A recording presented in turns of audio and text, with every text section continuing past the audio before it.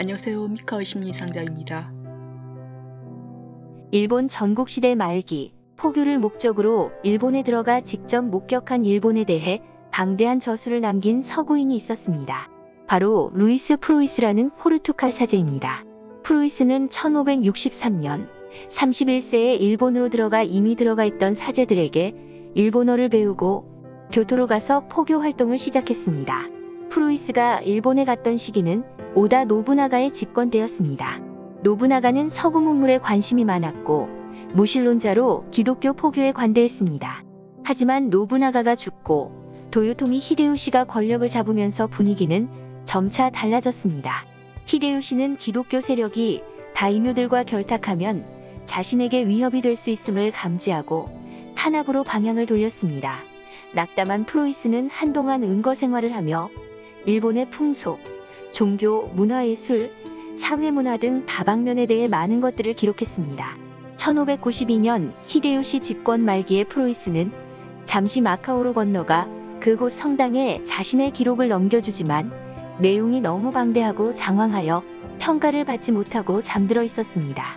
그의 기록이 다시 깨어나 본국 포르투갈로 송부된 것은 1700년 되었습니다.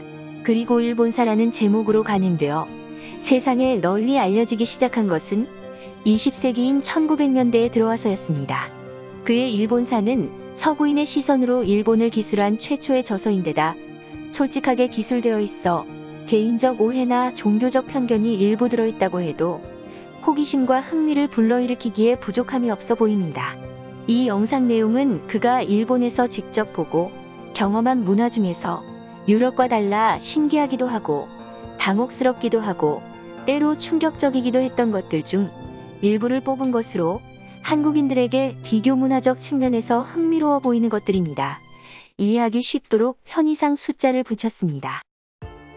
그 당시 서구 유럽 여자들은 결혼할 때까지 순결과 정조를 지키는 것을 명예로운 것으로 여겼는데 일본은 그렇지 않았습니다.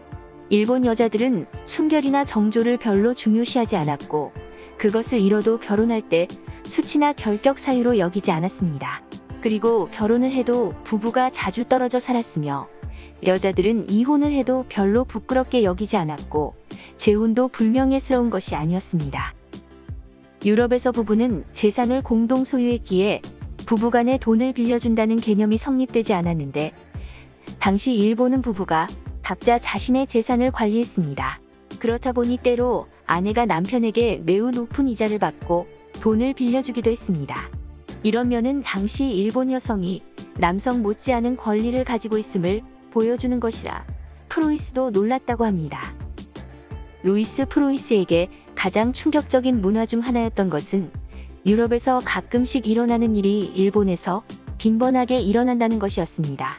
유럽에서 낙태를 하는 경우가 있긴 있어도 드물었는데 일본 여자들은 아무렇지도 않게 했고 한 여자가 20번이나 하는 경우를 보았다고 했습니다.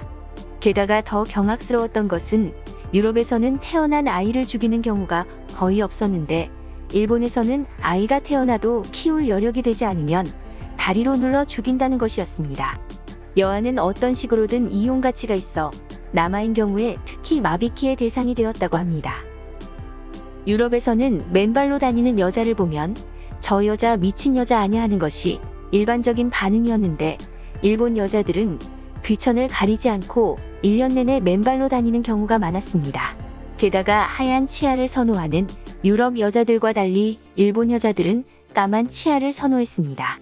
그는 일본 여자들이 어떻게 치아를 새까맣게 만들었는지 방법까지 기술했습니다.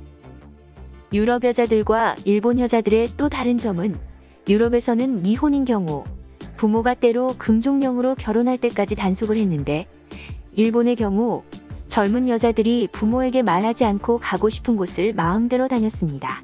부부간도 비슷했습니다. 유럽에서는 아내가 남편의 허락 없이 외출하는 경우가 잘 없었는데 일본 아내는 남편에게 말하지 않고 가고 싶은 곳을 마음대로 다녔습니다. 유럽에서는 사람을 죽이는 것이 엄격한 사법권의 관할 속에 있었는데 일본에서는 사적으로 죽이는 경우도 적지 않았습니다.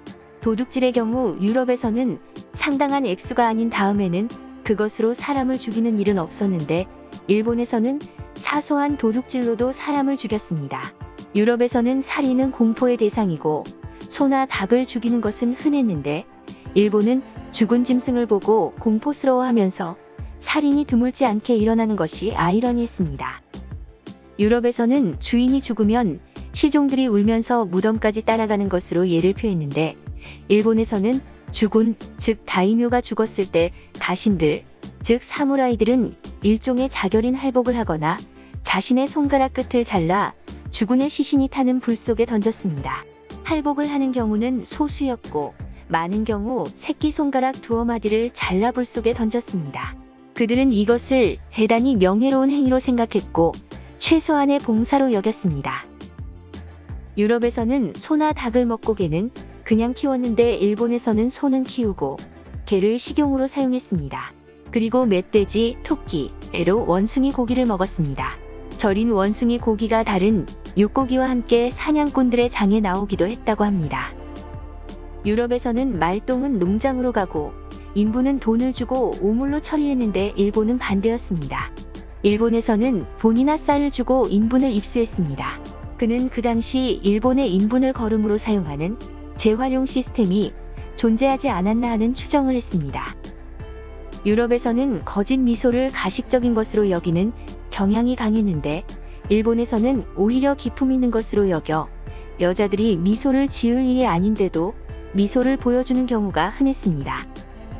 유럽에서는 광장이나 거리가 사람들이 만나 즐겁게 담소를 나누기도 하고 모여서 노닥거리기도 하는 곳인데 일본인들은 사교는 집에서 하고 거리는 오직 걸어 다니는 목적으로만 이용했습니다.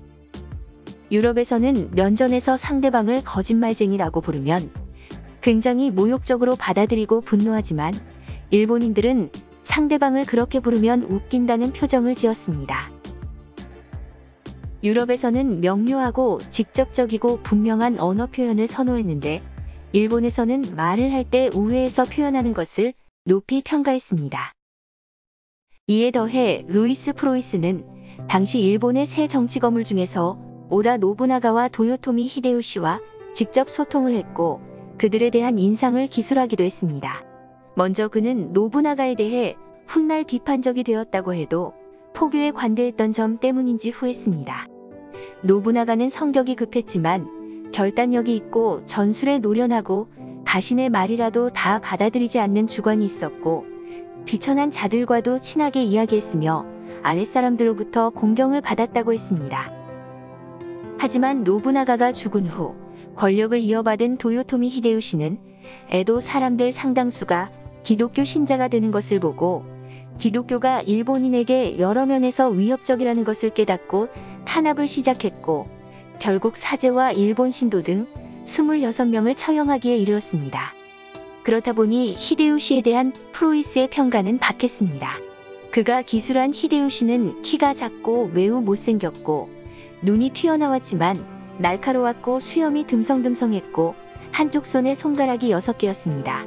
루이스 프로이스는 1597년 26인의 처형 사건의 전말을 기록하여 본국으로 보내고 몇 개월 후에 나가사키에서 삶을 마감했고 그곳에 묻혔습니다. 그때 그의 나이 65세였습니다.